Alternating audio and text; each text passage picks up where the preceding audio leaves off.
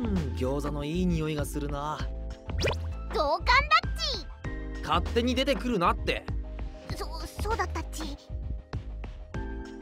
隠れたんじゃなかったのかよ。ぬいぐるみのふりしてるっち。それじゃあピンくんリエと一緒にいましょうね。リッぴょん天使っち。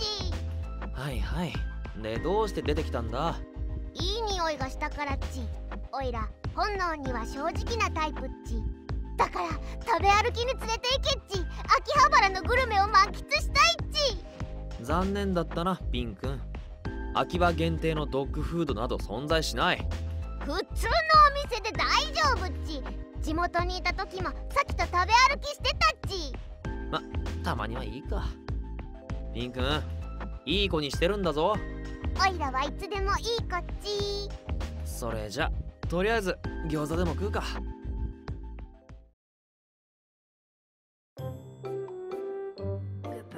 おい餃子くせえぞ。お味の方はいかがでしたか？うまかったっち。えそれだけ？もう少し他に感想はないのかよ。そう言われてもうまいもんはうまいっち。なんだかな。朝日次の店に連れてけっちおいらカレーが食べたいっち。秋葉でカレーといえばやっぱりジャンク通りのマルパだな。早く行くっち。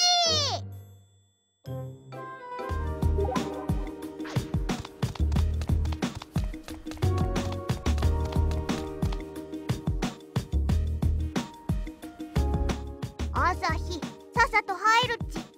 つうか俺腹いっぱいなんだけど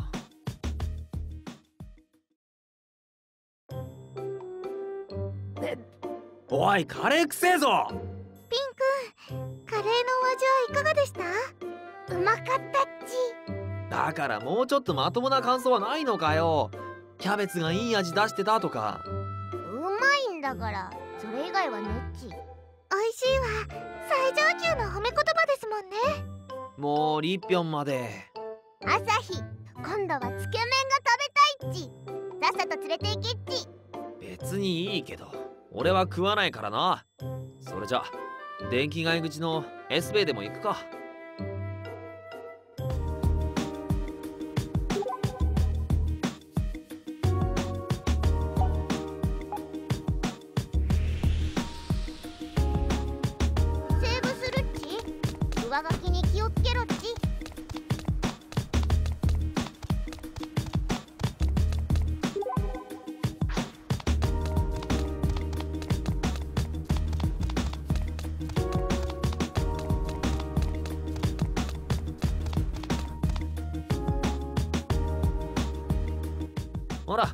着いたぞ。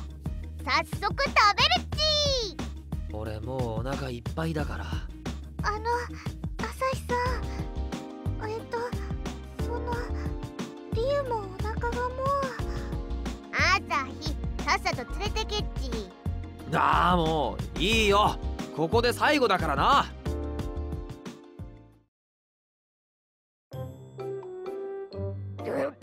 おいニンニクくせえぞすりおろしにんにく頼んだのは朝日の方だっち。お二人ともつけ麺はいかがでした？ああうまかったよ。ってあ。朝日さんピンくんと同じ感想です。朝日オイラと気が合うっち。これからも一緒にグルメを探求するっち。ピピンくんと同レベルだなんて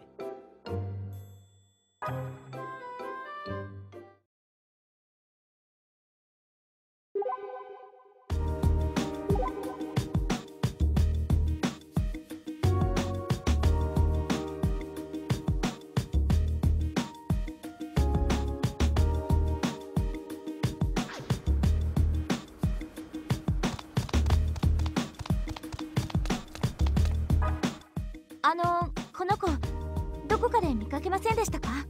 ああ見たことある気がする。本当ですか？あれでも違うかな。うーん確かに見た気がするんだけどやっぱり気のせいかも。そうですか。なあそれだったら妄想請負人カノンのことを知らないか？かの妄想請負にぷ何それ。ピンク色のマントをつけているんですけど見かけたことはありませんか？ピンク色のマント？そんな格好見てたら絶対に忘れないな。出会うことができれば素敵な妄想の世界へ案内をしてくれる人なんです。マジで？そいつに会えば二次元の世界に行けるの？いやそれはえっ、と。いいな。二次元の世界に行けるのか。こんな僕でも主人公になれるんだね可愛いヒロインたちとハーレムな日々が。はあ。他の人に聞いてみようか。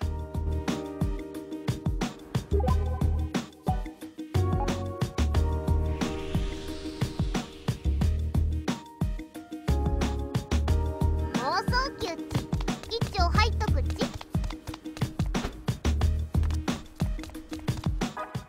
すみません。この子のことを見かけませんでしたか？あら可愛らしい子じゃない。だけど見覚えはないわ。ごめんなさいね。いえありがとうございます。でしたら妄想請負人カノンは知りませんか？ピンク色のマントをつけた男の人なんですけど。うーん妄想請負に聞いたことないね。ピンク色のマントもおばさんにはちょっと理解できないわ。そうですよね。えー、っとカノンさんだっけ？妄想を叶えてくれるっていう素敵な男性は。カノンさんは叶えるというか請け負ってくれるみたいなんです。どう違うのかしらね。でももしその話が本当なら夢のあるお話ね。そんな夢とか素敵なものじゃないですけどね。あらそうなの？若い子には必要ないのかもしれないわね。ま主人に話すいいネタができたわ。ありがとうね。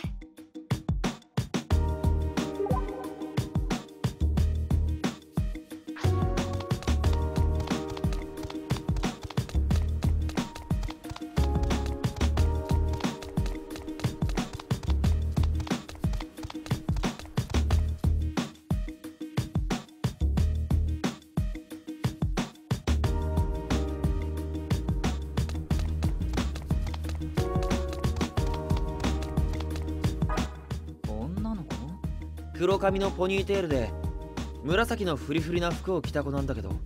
ああ見てないな。それに秋葉には結構いるタイプの子だよね。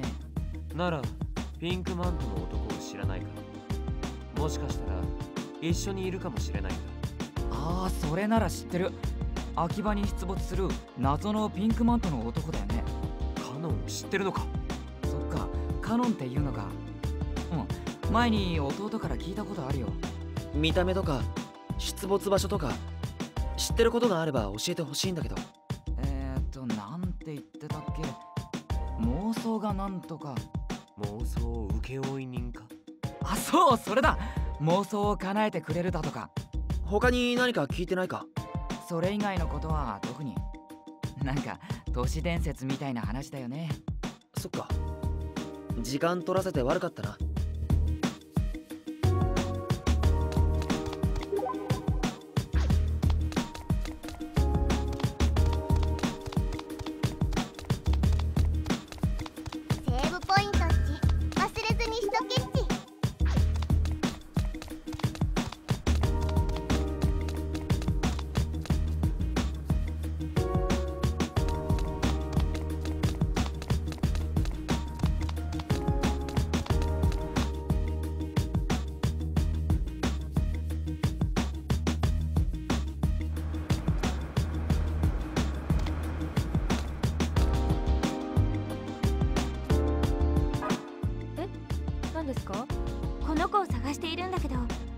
かで見かけなかったかしら。ああいるいる。こよこよくマートにいますよ。マート？アニマートのことだろう。オタク女子はゴスロリも多いからな。この子のことはわからないか？うーんわからないです。それにうち今カノン様にしか興味ないんで。カノンを知っているのね。はい。もちろんですピンク色のマントに白いシルクハットなんて二次元みたいじゃないですか。素顔が隠されているってところもポイント高いですよね。ですよね。妄想を叶えてくれるらしいですしまさに夢のような存在ですよ。あーカノン様に一度でいいからお目にかかりたいです。カノン様は何歳なんでしょうか？少年？おじさまあー妄想が膨らみます。その正体は何なんでしょうね？やっぱり二次元から飛び出してきたんでしょうか？んねえぞ。だけど白いシルクハットなんて新しい情報よ。ねえあなたはカノンのことどこで知ったの？隣のクラスの委員長ですよ。何でも何でも秋葉で見たらしいんです。裏通りの方だったらしいんですけど詳しく覚えてないらしいんですよね。あー本当にもったいない。うちだって絶対に写真撮るのに。やっぱりカノン様に興味あるんですか？だけどダメですよ。うちのものですからね。つまり何も知らないみたいええ。ままあ話聞かせてくれてありがとうね。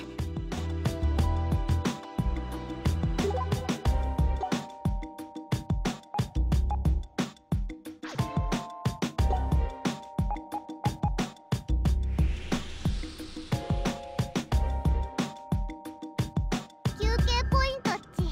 おいらは疲れたっち。あのすみませんこの子に見覚えありませんか？わあボスロリちゃんですね。知ってるんですか？あいえ。ゴシックでロリータな子だなと思って。そうですか。それだったらさカノンって男を知らないかなカノンってあのカノンですか？知ってるのか？えーとあれですよね。妄想請負人とかなんとか。そうそのカノンだ何か知ってる情報はないか？いえ名前しか。そのカノンがどうかしたんでしょうか？もしかしたらこの子と一緒にいるかもしれないんだ。ピンク色のマントをつけているから目立つはずなんだけど。ピンク色のマント？もしかして会ったことあるとか？いや会ったことはないけど会ったことがあるって人なら。やっぱり秋葉原らしい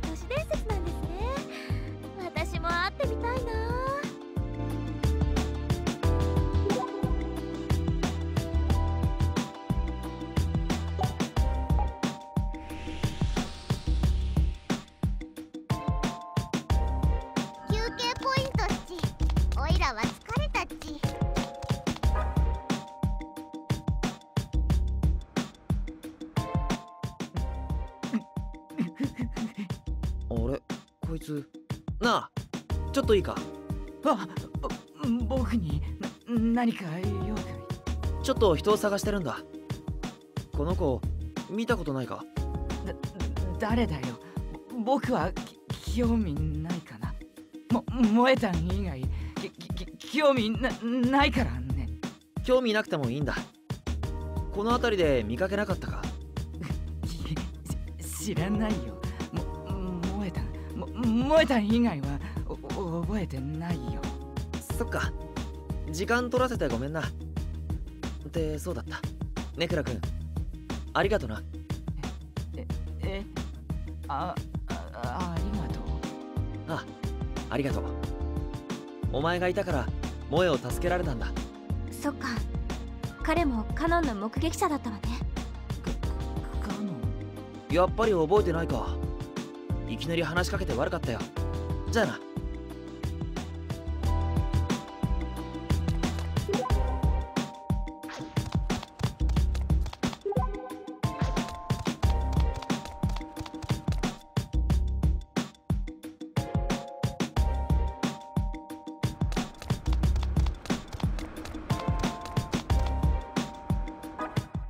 えこの子を知らないかな？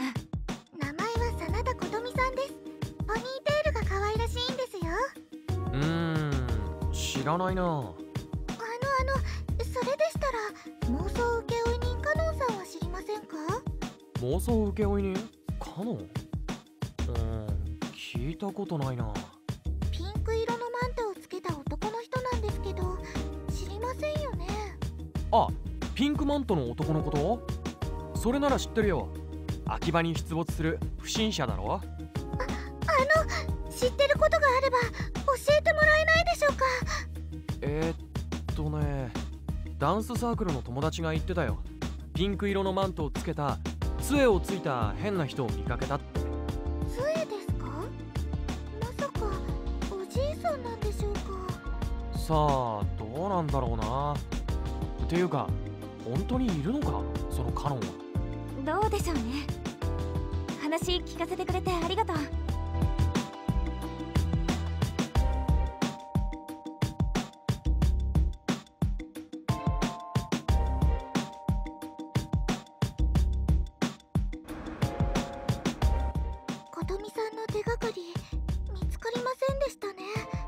秋葉は人も多いからな。そう簡単に見つかるもんじゃないって。でこれからどうするんだ？聞き込みを続けるのか？ヤマトさんなんだか楽しそうですね。一体どうしたんですか？探偵は中二男子の憧れの職業だもんな。別にそんなんじゃねえよ。一度レディオ会館へ戻りましょう。もしかしたら入り口が現れているかもしれないわ